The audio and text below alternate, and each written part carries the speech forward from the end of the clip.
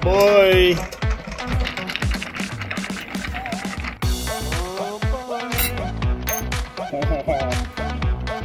Gooey.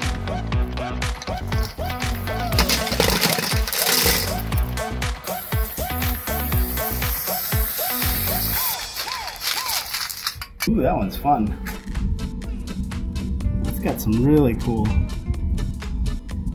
lines.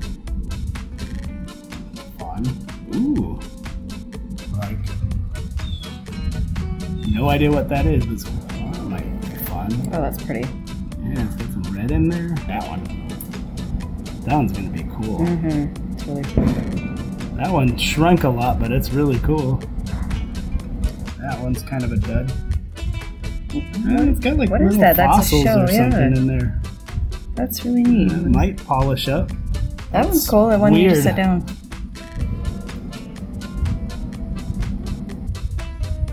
Really uh, like reddish, crystallized chalcedony looking, I don't know.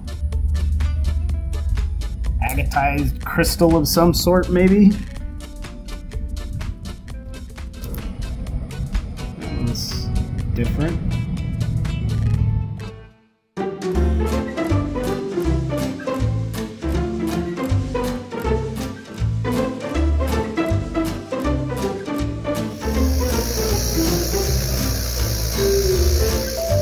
So what are we doing? We're scrubbing the grit out of rocks Why why are we doing that? so it doesn't ruin the next stage.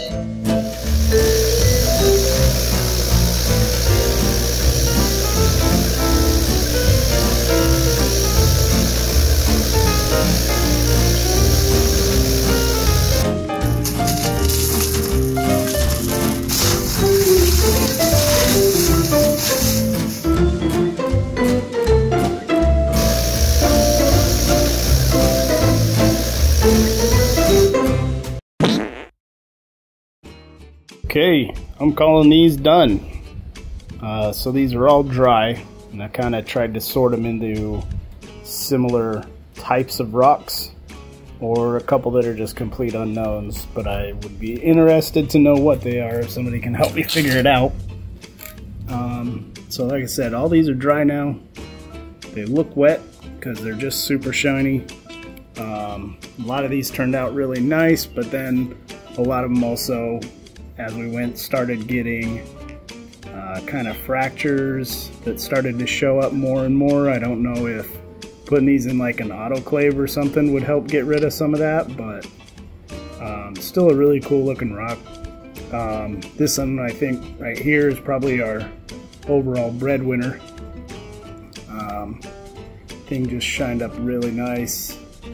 Really cool uh, patterns in there hard to tell on the camera, but you can actually see, you know, into the rock quite a ways. So I think that one turned out really nice. Um, some of these other ones turned out really good. Um, these ones here are the ones that are didn't hold as good of a shine, but still pretty good. But I thought they were pretty interesting just for the stuff that, you know, the designs that you could see. Um, you know, once you smooth them out, you get to really just see what kind of stuff's inside of them. Uh, really cool to to see how some of these, you know, turned out. Just the banding and colors that we got out of them. So some shined up better than others. These ones here all turned out really cool. This one turned out really nice. Had some really cool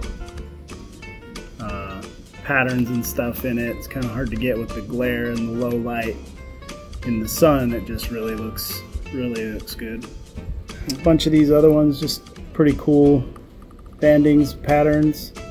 I think next time around maybe we'll uh, look for some of these um, cracks and fissures ahead of time and see if we can't maybe chip some of them out before we tumble them. But you know, it's a process. It's our first first attempt, so I'm not too disappointed. A lot of these are really cool. I don't know if they're carnelians or just really red, you know, agatized something something.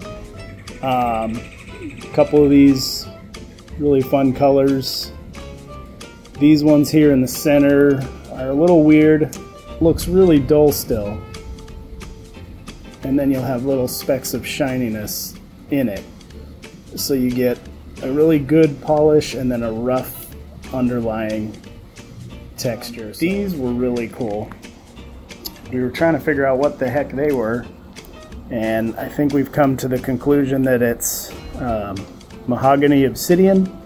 But if somebody out there uh, smarter than me that knows what I'm looking at here wants to fill me in, I'd love to know. I think I'd be able to find a few more of these.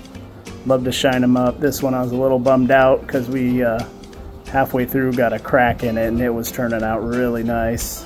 Got some, you know, really clear white quartzes. A little bit of the more orange.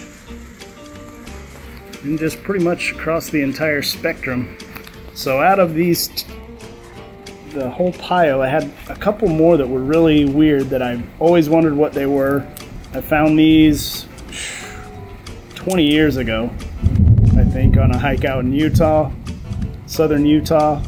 This one was just a really weird green, weird shaped rock that seemed really out of place in the red rocks. I've been carrying it along, decided to try and polish it. No clue what it is. Um, I'd be really interested if somebody could chime in and, and let me know. Um, and then same with this, a little bit of a storm going here. Uh, found this guy too. It was just a round, black, bumpy rock, almost this same exact shape, but a little less smooth. Um, got this one speck of almost quartz sticking out. Um, I don't know why I just picked both those up and I've been carrying them along for a while, so I'd be interested to know if, if anybody has any clue what that is. That'd be great if you want to let me know. And then this one, uh, I just I just thought it was cool. It's kind of green and boring, I guess, but I really thought I liked the way that it turned out. I like the uh, kind of weird colors and specks and whatnot that showed up.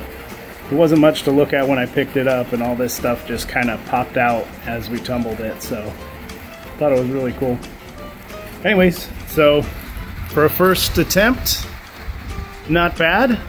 Uh, we'll get better, I guess, but uh, yeah, a lot of fun. If anybody has any tips or pointers or can tell me what we did wrong, what we did right. Um, but yeah, overall, pretty good. That's it. Thanks for watching.